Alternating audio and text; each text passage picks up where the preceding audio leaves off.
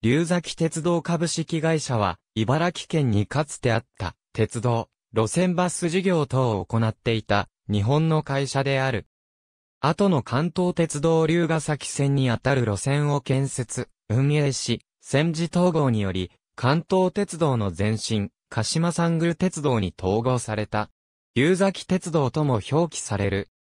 龍崎鉄道は、当初馬車鉄道として、茨城県の藤代から龍ヶ崎を結ぶために計画されたが、他の鉄道会社を視察した結果、馬を飼育するよりも機関車の方がコスト的に有利であることから、小型蒸気機関車による鉄道に変更、区間を小海川を渡らずに進む讃岐から龍ヶ崎までに短縮して建設された。発起人のほとんどが龍ヶ崎のものであった。また、龍ヶ崎から先にも、路線を延長する計画を持っていたが、強行などにより仮免許を返上している。大正の末頃からは、自動車事業との競合により、乗客数が減少し、期間を広げガソリン客車を導入し、輸送量を増強している。1944年に、戦時統合政策により、鹿島三宮鉄道に統合した。4号蒸気機関車機関車客車改め機してから、東武鉄道より派4を購入するまでの間の車両は、わからない。大正9年上期の営業報告書によれば、客車4両が在籍している、東武鉄道より1920年から木製に、軸客車を4両購入している。1926年に、国鉄より、木製に軸客車を2両払い下げを受けている。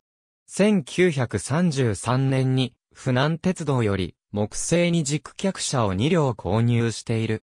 ABCDEF、地方鉄道及び軌道一覧。昭和18年4月1日現在視察したのは、上野鉄道や大梅鉄道いずれも機関 762mm の蒸気鉄道である。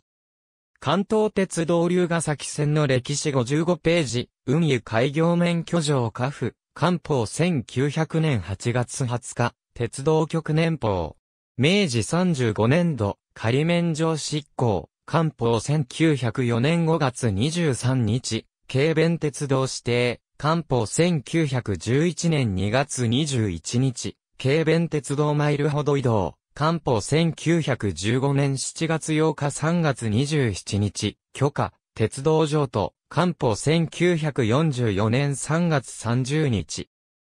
関東鉄道株式会社70年史34ページ、機関車の系譜図3411から413ページ、中川光一、茨城の民営鉄道史39ページ。当時は、個人経営であった、日本全国諸外車役員6。第50回上、機関車の系譜図3413から414、419ページ、関東鉄道株式会社70年史42ページ、白土の推定では、歯に3547、客車略図上図、私鉄車両巡り特集1第5分冊88ページ。ありがとうございます。